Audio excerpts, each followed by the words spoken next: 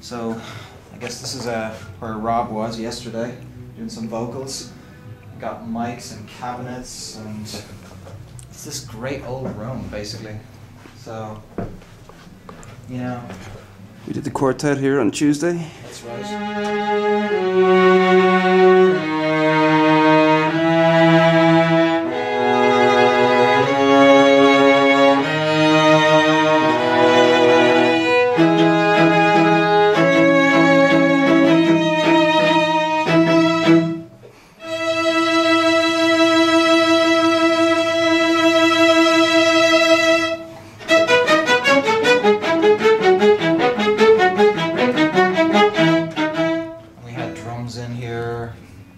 Had the amps plugged in in here, but the actual, you know, guitarist sat in the other room and basically played from there, so they didn't deafen themselves doing the tracks.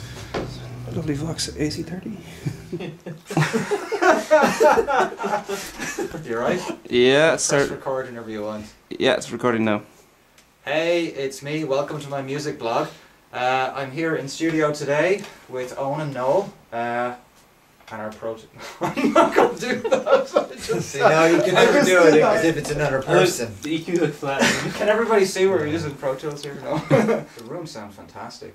yeah, we look, looked out into it. Yeah. I mean, did you have to do much to get the tone right? Just hang up duvets and sheets and Yeah, like real pillows kind of, mattresses. you know. Real It's not every day you stuff. get Old into an old, yeah, yeah. getting into Yeah. an old house to fix it up. Like, how Yeah. often do we do that? You know. Exactly. Very DIY, but it's, it's. Yeah. Yeah, it's been working great. And then what do you like? What's the room? I see NS10s there. Uh, you working on those? Yeah, the majority of the work we do uh, for monitoring, especially, is on the NS10s. Um, yeah. We find that they're, th- you know, they're not too flattering when Yeah. it comes to sound. Um, you know, we we have the KRKs as well, but uh, it is like ninety percent of the time on the the NS10s that we we've worked. Um, I guess for the last couple of years we've been using them, and you know, so we have a constant, you know, kind of benchmark that we can Yeah. work against. So uh, what's next? You're just basically taking a break, and then Jan- January is going to be um, next Yeah. part of the album.